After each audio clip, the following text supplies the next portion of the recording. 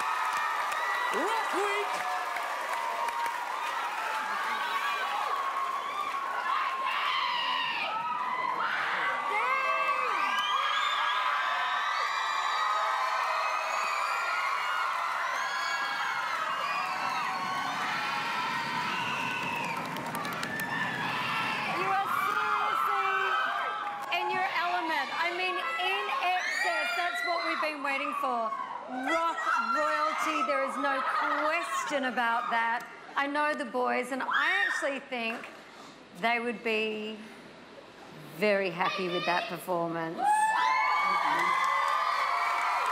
thing is that the vocals were perfect.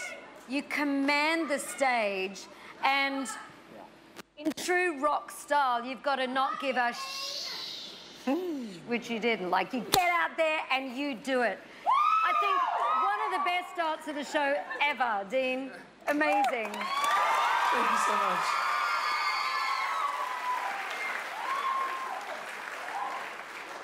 What I loved about this performance is that you were just doing what the bleep you wanted to do up on the stage. I mean, you wanted to rock out with the guitar player. You were doing, you just did everything, almost like a little kid, a little rock and roll kid, just doing your stuff, you know.